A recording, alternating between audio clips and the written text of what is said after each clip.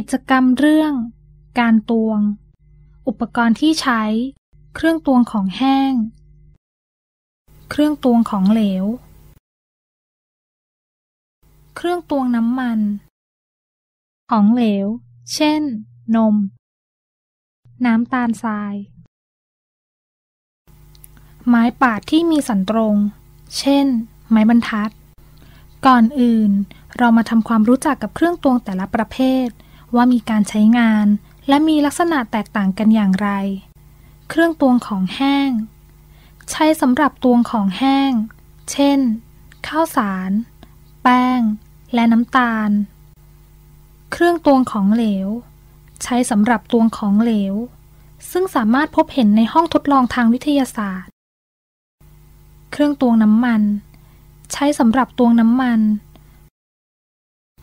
วิธีการตวงอย่างถูกวิธีนั้น เมื่อตวงด้วยเครื่องตวงของแห้ง ต้องตวงให้เรียบเสมอขอบ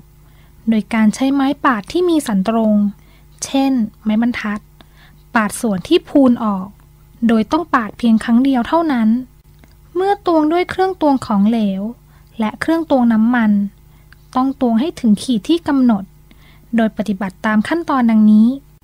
วางเครื่องตวงของเหลวบนโต๊ะพื้นเรียบ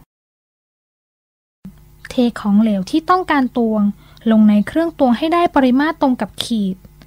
หรือตัวเลขที่บอกปริมาตรตามที่ขีดกำหนด ในขณะที่เทของเหลวลงเครื่องตวง ไม่ควรทำให้เกิดฟองอากาศ เนื่องจากจะทำให้ปริมาตรที่วัดได้มีความคลาดเคลื่อน ใช้สายตามองส่วนผสมให้ตรงกับขีดบอกปริมาตรพอดีในระดับสายตาสำหรับเครื่องตวงน้ำมันอย่างที่เห็นอยู่นี้นะคะ จะมีขนาดต่างๆกัน เช่น 550มิลลิลิตร และ 1 ลิตร เวลาตวงให้เทของเหลวลงไปจนถึงขีดที่ลูกศรชี้ดังนี้ค่ะ ก็จะได้ปริมาตรของเหลวตามที่ต้องการค่ะ